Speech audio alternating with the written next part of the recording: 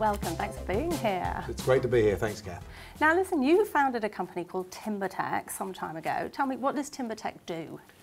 TimberTech washes, protects, and maintains cedar properties. Yeah. It's not the most exciting job in the world, but really I've been doing it for 25 years now and I love it. So, where did you get started? Like, how does a person get started in business? Where did you start?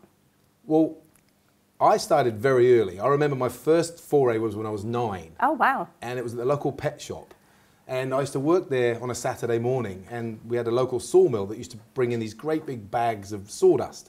They were literally, I was only nine, so they seemed huge. They're probably about six. Yeah, I, probably- yeah. I wasn't, I wasn't a tall nine either.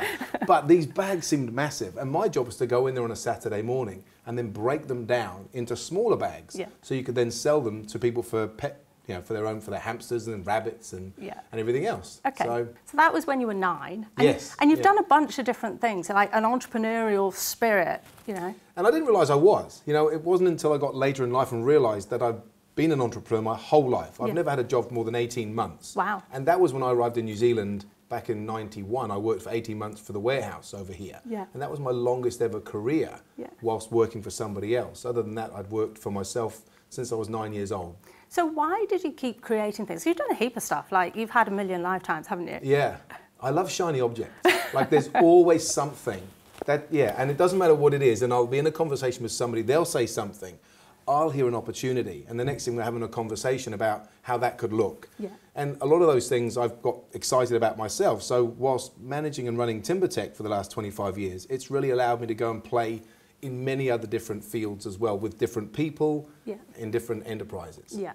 Hmm. So do you think that creativity has served you well? Some people will be shiny objects and it means literally that they can't conclude anything. Yeah.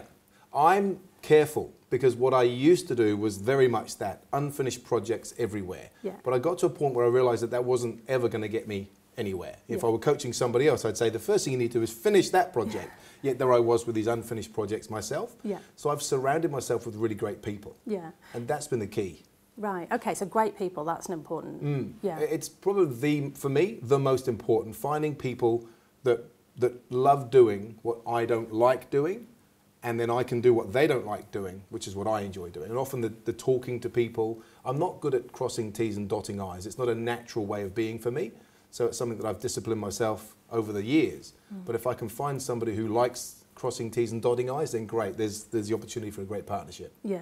So actually, one of the one of the foundations of business will be to find the right people to support you. Critical. Yeah, Okay. critical aspect for me. So it hasn't all been roses your entire business career, has it? No, no, no, no. And, and I think that's part of what makes where I'm at now as, as fun or as exciting as it has. I've, I, about 11 years ago, the GFC literally nearly wiped me out. Yeah. I was that close to being bankrupt, working really closely with the banks, with the IRD, to Yeah. try and manage myself through that process. Yeah. So the global financial crisis basically hit a lot of people. Yeah. Yeah.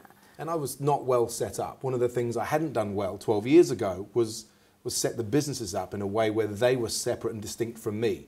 So my business and my all my family and everything was all intertwined and had been that way forever. Yeah. All the eggs in one basket. Literally. Yeah. Yeah. So when one, yeah, and it was that domino effect. And, you know, I look back on that now and it was a, a very valuable and costly exercise, Yeah. but really did set me up nicely for where we're at right now. Yeah. What did you learn from it? the critical aspect for me was putting in the systems and processes to make sure that the businesses themselves Yeah. were looked after. Yeah. Whereas before, I had myself been looked after by the business. Now, the business itself exists as its own entity. So Yeah. I look after the business, it's, and then the business takes care of me rather Yeah. than me first. Yeah, that actually would be very common. A lot of people starting their own business and it's just them. Yeah. It's just, I am the business and the business is me. especially in New Zealand. Yeah. So many small to medium sized businesses in New Zealand. And where we exist here is like when we work, we get paid. When we don't work, we don't get paid, but we still think we're in a business. Yes. And that was how it was for me. I worked very hard, I earned good money. When I wasn't working, I didn't earn any money. Yeah, Now, having a business, people all work in the business. And so if I'm not working, the business is still operating Yeah. and is still making money without needing me. yeah. So, how did you move past that global financial crisis stage? Well, we literally had to start again. So my business partner and I, or my colleague, we were working together there. We were out knocking on doors in the evenings to try and generate work for the following day. Wow. So you, you literally, you mean literally, I'm out there, I'm knocking on the doors, I'm trying to generate the business. Yep. So plenty of people would be not willing to do that. Yeah, and many weren't. We had there were 12 of us working in the business when it came through. We had 10 franchises throughout the country, Yeah. and only two of them survived. Yeah. The others just weren't willing to do to go right back to the basics, which was you know, asking for the work. Yeah. And I guess there's something in there. You know, if you're trying to extract the principles of what make businesses successful, what, what do you think makes a person successful in business? Well, sticking to your knitting. Yeah. One of the things is getting clear on why you're doing what you're doing, and then doing it to the best of your ability. Sticking to your knitting. Yeah, I got that from a an old Dutch guy, Eddie, uh, from Dad's Pies, very successful um, businessman. And I met with him probably 20 years ago, and it was one of the things that stayed with me. Yeah. He said, like, literally, because making pies, I mean, how much, how hard can that be? Except this guy now is, you know, doing pies all over the world. And Yeah. I thought, yeah, I like that. And he said, stick to your knitting. And I, could, I got the concept of doing what you do really, really well. So, and we do. And TimberTech is now, it, throughout the country, will be the leading experts in timber restoration and refurbishment. Yeah. Not as exciting as pies, I'm sure, but you know, along the same vein. But more slimming. That's right, probably, yeah, probably, yeah. And then the second thing I think is working in teams. One of my passions is football, Yeah. soccer, as Yeah. you call it here, but football. Yeah. And and I do liken the two things. Working with people who they turn up early for work or they they stay later. The same deal applies at football. You know, the guys that turn up early help carry the stuff out. They work hard, they train hard, they play hard, and then afterwards you can socialise with them. That's been the, the most of the people that work with me. One of the, my colleagues has been 20 years, one 17, one 12.